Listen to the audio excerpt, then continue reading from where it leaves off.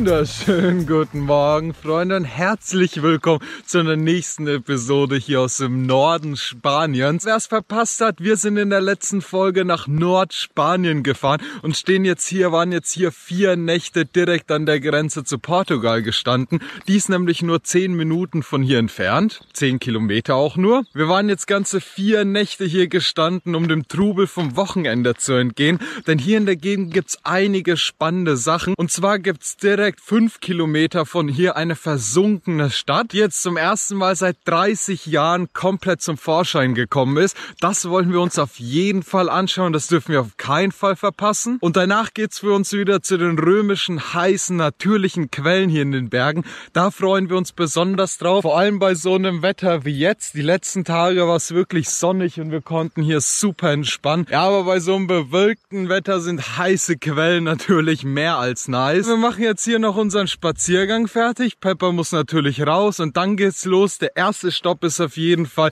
die versunkene Stadt. Super gespannt. Los geht's. Vom Fahren her haben wir heute super Glück, denn die versunkene Stadt ist nur 10 Minuten von hier entfernt. Und von dort aus sind es dann auch nur noch 20 Minuten zu den römischen Bädern. Das heißt, alles sehr nah zueinander. Stopp Nummer 1 heute, versunkene Stadt. Autos abgestellt und wir sind angekommen. Das Ganze ist nicht wirklich eine offizielle Touristenattraktion, deswegen gibt's hier keine Parkplätze. Man muss hier einfach an der Straße parken und dann hier diesen kleinen Weg runterlaufen. Und auf dem Weg runter erzähle ich euch vielleicht mal mal ein paar Fakten zu dem überfluteten Dorf. Und zwar kam es 1992 dazu, dass fünf Dörfer hier umgesiedelt werden mussten. Die fünf Dörfer, die davon betroffen waren, die mussten dann ein bisschen weiter nach oben umsiedeln, um hier den Stausee zu bauen. Von vier von den fünf Dörfern ist mittlerweile nichts mehr übrig. Aber das Dorf Aceredo, da wo wir jetzt auch hinlaufen, das hat es immer geschafft, irgendwie zu überleben. Und wenn der Wasserspiegel ganz niedrig ist von diesem Stausee, dann kann man das Dorf immer noch sehen. Und dieses Jahr ist es so weit, dass das Dorf komplett freigelegt ist. Das gab es, glaube ich, noch nie. Und der harte Sommer, der steht ja noch bevor. Das heißt, ich will mir gar nicht vorstellen, was hier passiert. Der Stausee ist hier direkt an der rechten Seite von uns. Aber man kann von hier schon kaum Wasser sehen. Momentan sind, glaube ich, weniger als 15 Prozent des Wasserstandes nur noch da, was einfach so gut wie gar nichts ist. Wir laufen jetzt erstmal ganz runter und dann schauen wir uns das Ganze zusammen an. Von hier oben kann man jetzt schon das Ausmaß erkennen. Es war wirklich bis da nach oben der Stausee und jetzt ist hier das halbe Dorf frei. Es ist nicht das ganze Dorf frei, habe ich mich getäuscht. Man sieht da auf jeden Fall noch ein Häuschen im Wasser. Aber selbst von hier schaut das schon so surreal aus. Das ist einfach nur Wahnsinn. Sowas sieht man sehr, sehr selten auf der Welt. Es gibt ja auch schon Forschungen, die besagen, dass Spanien und Portugal in sehr kurzer Zeit, es dauert wirklich gar nicht mehr so lange, zu einem Teil aus Wüste bestehen können und wenn es weiter so trocken bleibt, könnte es wirklich passieren, dass viele Orte hier in Portugal und Spanien nicht mehr bewohnbar sind. Das ist auf jeden Fall mal eine krasse Aussage, wie ich finde. Und hier ist alles so richtig steinig, so crazy. Man kann sich kaum vorstellen. Und wir sind auch noch komplett per Zufall drauf gekommen, obwohl wir fünf Minuten von hier entfernt standen. Lass es zehn sein, weil neben uns ein Wohnmobil gekommen ist und die uns gefragt haben, ob wir auch wegen der Geisterstadt hier sind. Von dem Platz, auf dem wir heute Morgen schon standen, hat man nämlich den Parkplatz da oben schon gesehen. Gestern war ja Sonntag und die ganze Straße war voll. Also es kommen wirklich sehr, sehr viele Leute hierher, um sich das anzuschauen. Ist ja auch super spektakulär. Ja, aber ich würde sagen, es hat sich sich definitiv gelohnt, bis Montagmorgen zu warten, denn ich konnte weder an der Straße ein Auto sehen, noch kann ich hier irgendeinen Menschen sehen. Und ich würde sagen, ich benutze jetzt mal die Kamera, um ein paar richtige Aufnahmen hier zu machen. Das Ganze ist so spektakulär.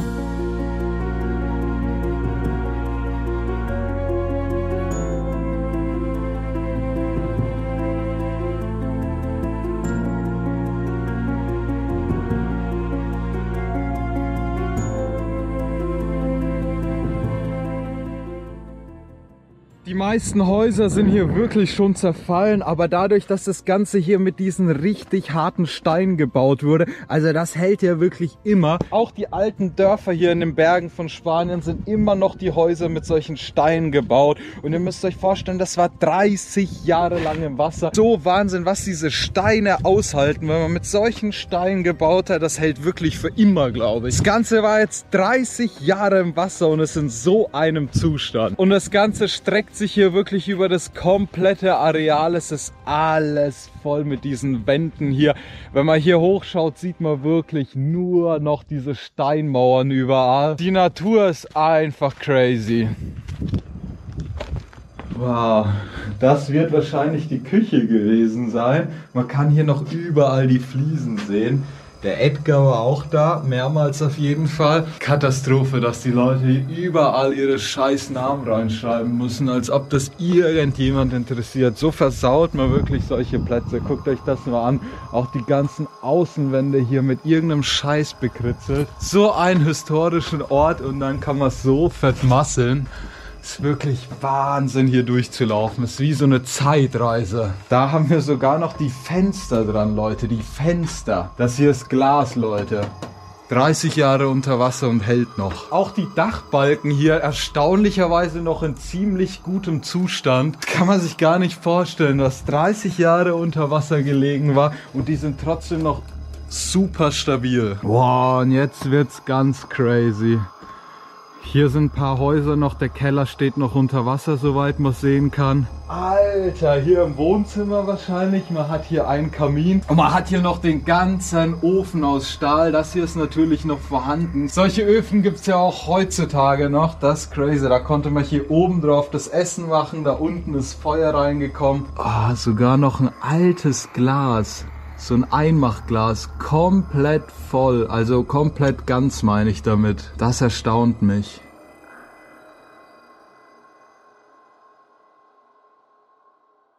Oh. Rutschig. Versuch dich auch.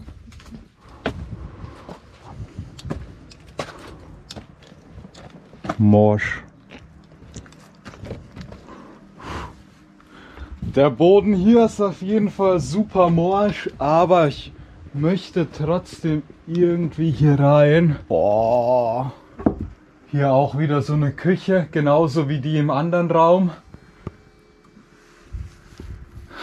Und hier halt alles eingestürzt.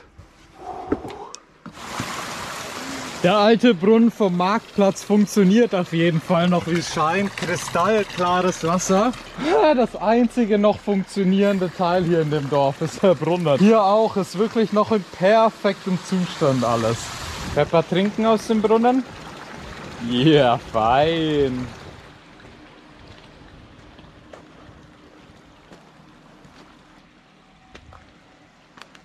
Schaut euch das an.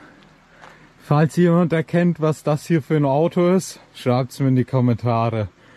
Hat hier noch das ganze Getriebe, den Motorblock, die Sitze sogar noch.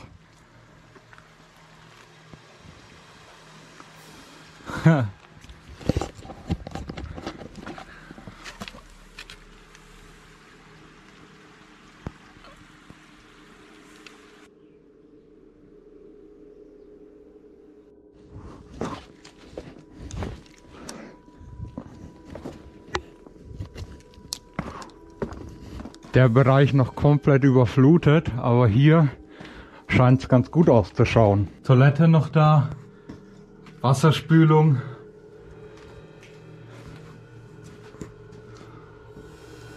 Boah, hier gibt es auch noch einiges. Einen alten Schuh.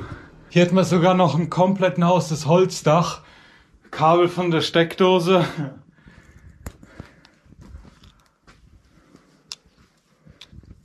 Wow, schaut euch das nur an, was für ein Blick hier aus dem Fenster. Paradiesisch, paradiesisch sage ich euch, wenn man hier wohnen könnte. Von hier sieht man auch die Häuser auf der Seite, die sind komplett überflutet noch, also halb überflutet. Da hinten die Garage. Spektakulär Bin jetzt einmal wirklich durchs komplette Dorf gelaufen, war auch in jedem Haus drin, in das ich wirklich reingekommen bin. Wahnsinn, dass der Boden immer noch so gut ist, so stabil, dass man da wirklich in den Häusern noch rumlaufen kann teilweise. Für mich war das Ganze hier wirklich nochmal komplett speziell und ein komplettes Highlight auf unserer Reise. Den Strand kann man wirklich fast in jedem Land sehen. Auch Berge und Wälder sind immer schön zu sehen, aber man hat sie wirklich überall. Aber wer von euch war wirklich schon mal in einer versunkenen Stadt? Ich weiß natürlich, das Ganze ist jetzt nicht im Meer versunken. Hier im Stausee sind keine Wellen. Nichts, was das Ganze wirklich zerstören könnte. Aber für mich ist das Ganze doch super faszinierend, sich hier das Ganze anzuschauen. Wie die Leute hier früher einfach gelebt haben und auch wie gut das Ganze noch in Stand ist. Bin mir ein bisschen unsicher, was man mit diesem Platz machen soll. Denn wenn er einfach so zugänglich hier für jeden bleibt, dann denke ich, wird das Ganze nicht mehr allzu lang halten. Gestern am Sonntag war wirklich die ganze Straße voll mit Autos. Und natürlich ist es auch nicht optimal, dass wir hier sind, denn wirklich mit jedem Fußtritt in diesen Häusern könnte einfach ein bisschen was beschädigt werden und es ist einfach nicht mehr der alte Zustand. Aber mir das Ganze entgehen lassen konnte ich natürlich auch nicht. Wie gesagt, ich bin fast in jedes Haus reingegangen. Puh, ja, die Sonne kommt jetzt auch raus. Hat gesagt, ist schon rausgekommen. Wir sind wirklich schon ein ganzes Weilchen hier. Das hier hat sich hinten hingesetzt wegen Pepper. Der kann natürlich nicht in diese ganzen Häuser hier rein, weil natürlich auch ein paar Scherben überall rumliegen und ja einfach ah, überall Zeug rumfliegt. Hier ist übrigens nochmal das alte Auto. Super skurriler Ort hier auf jeden Fall, aber ich bin so froh, dass wir hierher gekommen sind. Wirklich eine einmalige Gelegenheit.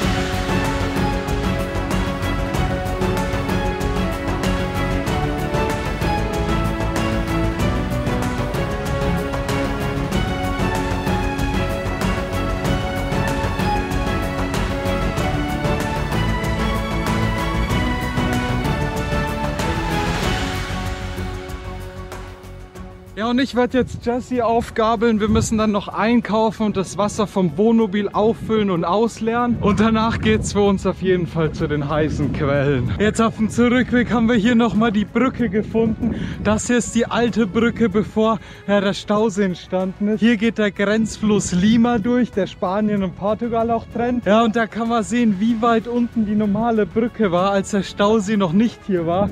Und dann ging das Wasser einfach, ich würde schätzen, 20, 30 Meter hoch. Und jetzt hat sich die Natur alles wieder zurückgeholt.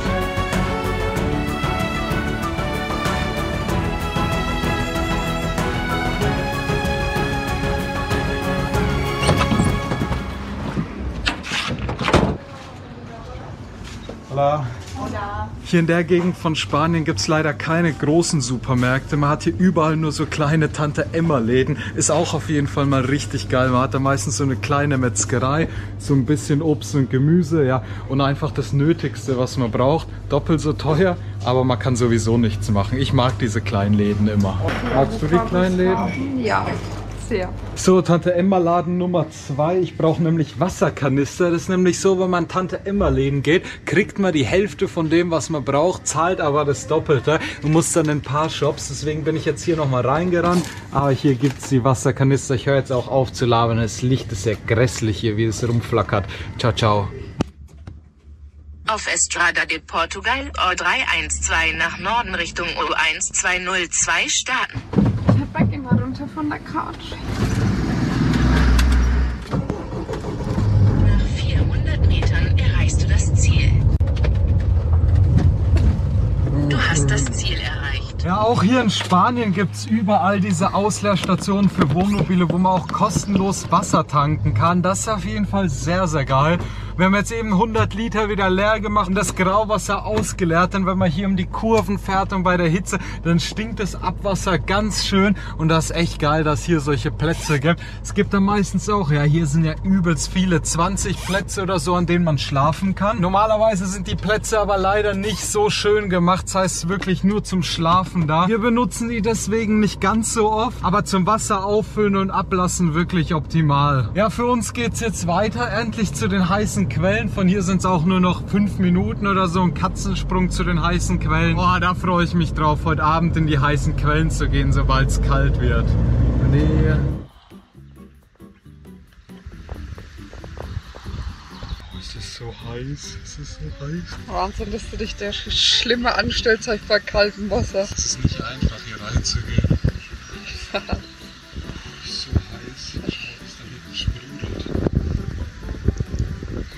Meinst du, es kocht? Es kocht, es kochend heißes Wasser.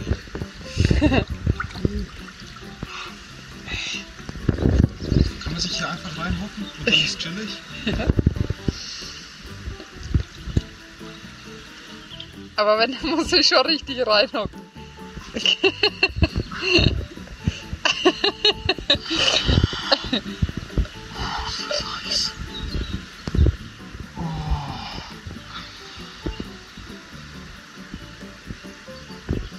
habe ich es geschafft.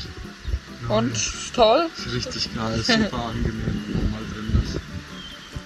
Wir waren jetzt ein paar Stunden wirklich in den heißen Quellen, immer mal wieder rein, raus, rein, raus. Uns fühlt sich so an, als wäre man wirklich den ganzen Tag in der Sauna gewesen. Es ist so wunderschön hier bei den Pools, aber ich wollte dann nicht zu viel filmen, weil da ja auch andere Leute drin sitzen. Und ich glaube, wenn man so einen Spannungstag macht, da hat man keine Lust mit auf dem Video zu sein. Und die Quellen, die heißen römische Quellen, das ist hier das römische Reich waren, haben die hier direkt gewohnt. Hier entlang vom Fluss kann man auch noch ein paar Überreste sehen. Die waren hier nie überflutet, aber sind auch nicht mehr ganz.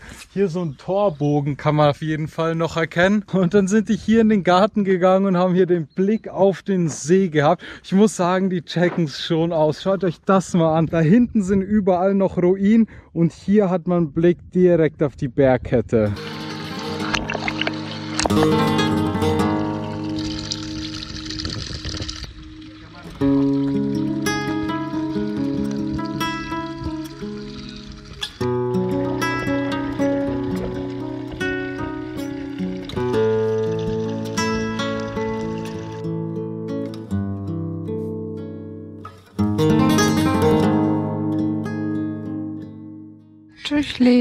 Gerade. Wein. Ja, das ist so traurig, dieses Buch. Jedes Buch, das toll ist, muss Emotionen enthalten.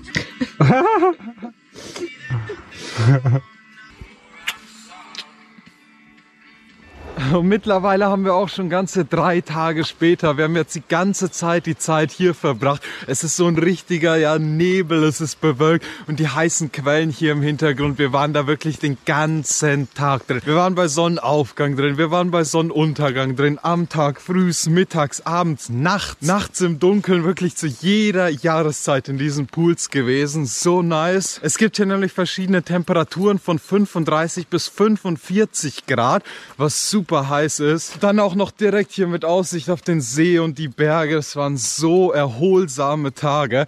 Ich gehe jetzt mit Pepper spazieren. Jessie ist nochmal in die Therme reingehüpft. Die will es nochmal genießen. Und danach geht's für uns erstmal eine Aussichtsplattform mit einer wahnsinnigen Aussicht auf den Fluss. Und danach geht's wieder zurück an die Küste, auf das ich mich schon ganz besonders freue. Ich war jetzt bestimmt schon über einen Monat nicht mehr surfen. Mega Lust wieder ein bisschen auf Strand. Das Wetter sollte dann auch ein bisschen besser sein. Ja, und ich würde sagen, das war's mit der Episode, Freunde. Es war so wunderschön hier. Erst diese verlassene Stadt entdeckt und dann einfach ein paar Tage hier abgechillt. Ich konnte leider nicht zu viel filmen, denn in den heißen Quellen sind wirklich zu jeder Tageszeit Menschen drin. Aber es waren unfassbar schöne Tage. Ich hoffe auf jeden Fall, euch hat das Video gefallen, Freunde. Wenn dem so ist, lasst mir doch gerne einen Daumen nach oben da.